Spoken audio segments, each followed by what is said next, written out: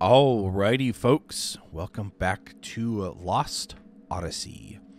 We are here and we are going to experience Beyond the Wall from A Thousand Years of Dreams. Beyond the Wall. The wall is being demolished. Sledgehammers resound on both sides. The wall marked the national border for decades until yesterday. Border might not be the right word, however. Originally, both sides were part of a single nation. The country became divided owing to differences in ideology, and the two sides remained so mutually antagonistic that a high, thick wall had to be built. Those days are gone now. A year ago, the leaders of the two sides shook hands in a historic reconciliation. Today, after much preparation and coordination, the wall that symbolizes the two sides' antagonism is being demolished. The sounds of hammering signals the end of opposition and extols the beginning of peace. Come on, give me a break, says Unguno, spitting on the ground and glaring at the backs of people swarming over the wall. Look at them, smiling like idiots. I can't believe it. He glances by his by Kaim at his side, as if to say, Right? His still boyish face wears a scowl of disgust. Tell me, Kaim, you've been to a lot of different countries and seen all kinds of people. Can people just take years of hatred like that and throw it out the window? Kaim gives him a sour smile instead of replying.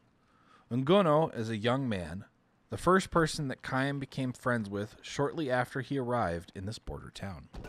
He is pleasant enough, except for his stubborn hatred of the people from the other side. One lousy handshake, and I'm out of a job. I mean, really, give me a break. Unguno used to be a border guard. In other words, one of the men assigned to keep watch on the wall. He had volunteered, eager to kill anyone who dared to come over the wall from the other side. If his spe- superiors had permitted it, he would have gladly crossed over and attacked the other side rather than waiting to fend off an invasion. As a mandatory part of the reconciliation, however, the border guards were disbanded. Unlike his brothers in arms, who quickly started new lives for themselves, Unguno was left behind by the changing times. Tell me, Kaim, can people be allowed to just slough off their resentments so easily? Do they just not give a damn? Kaim does not respond to this. He knows that Unguno is a victim of the age of confrontation. Still just a young man, a boy even. Unguno has been through condition had been thoroughly conditioned since childhood to view the other side as the enemy. Watch out. The other side could attack at any time. Watch out. The other side are all cruel, cold hearted villains. Watch out. If the other side ever invaded us and occupied our towns, they'd burn down our houses, steal our property, kill our men, and assault our women. Watch out. The day is not far off when they will be invading us. It could be three days from now, or it could be tomorrow. They might be climbing the wall today, this very moment. Watch out. They've already sent their spies among us, and you can't tell for sure who they are. They're the ones who extol and sympathize with the other side by word and by deed. Watch out. They're probing for the slightest gaps in our psychological armor. Remain alert. Be ready to draw your sword at any moment. Watch out, watch out, watch out, watch out. There was much to be found out about the other side in the history books distributed in the schools on this side. The pictures of the people from the other side portrayed them all as ferocious demons.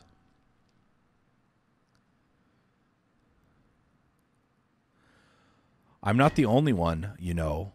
All of us were taught the same thing. So how come everybody but me is so happy about the wall coming down?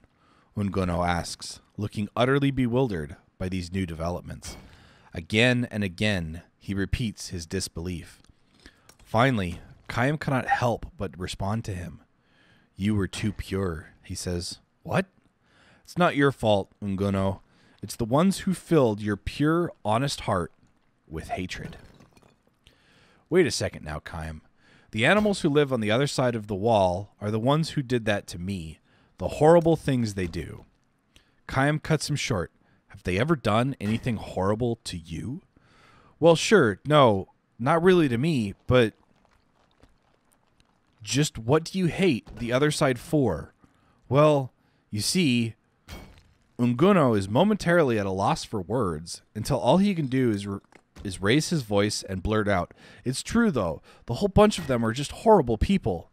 He folds his arms in a decided pout. How are they horrible? What have you ever seen them do? When? Where? Unguno stammers and splutters. Have you ever even met someone from over there? Kaim demands to know.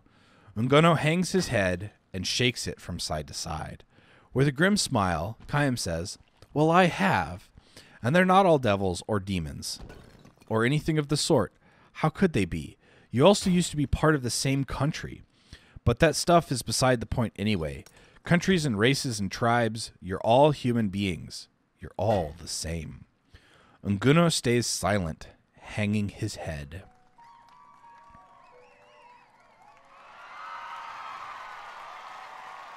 Cheers erupted the wall. The wall has sep- that has separated the two worlds for decades has just now been broken through. Representatives from this side and the other side walk through the opening, greet each other with smiles and firm handshakes, and embrace. The cheers grow louder, and the people, mostly members of the younger generation, gather in circles here and there, expressing their joy. Unguno glares down at his own shadow and asks Kaim, So what should I do now? All I've ever done is hate. All I've ever known to how to do is hate them.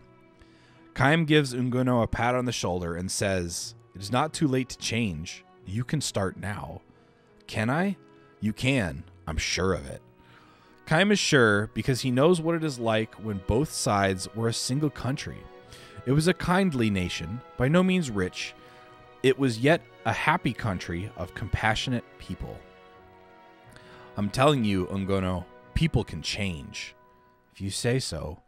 Look over there, Unguno. Look at those people enjoying themselves. Hesitantly, Unguno raises his head.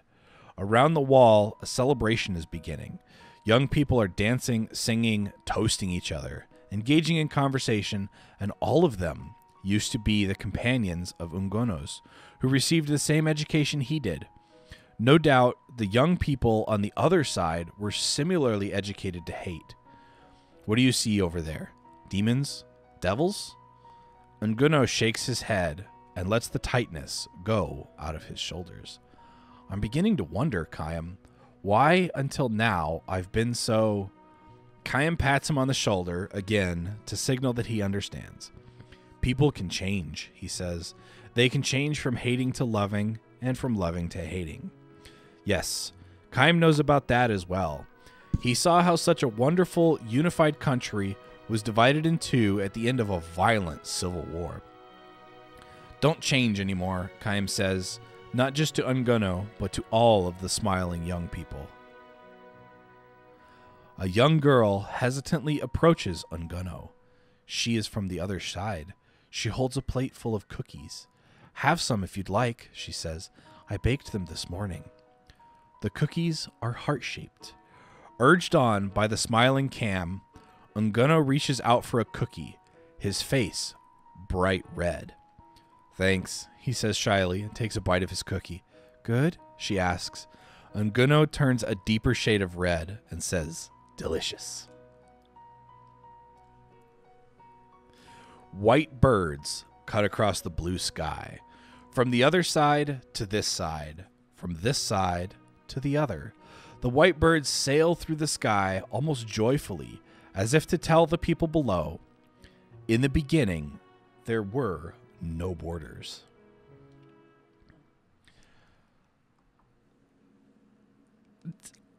That was straight up Berlin and the wall and Germany after the war. And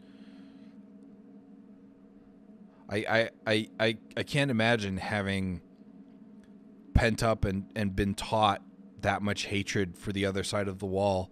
And in reality it was just a difference in opinion a different a difference in viewpoint.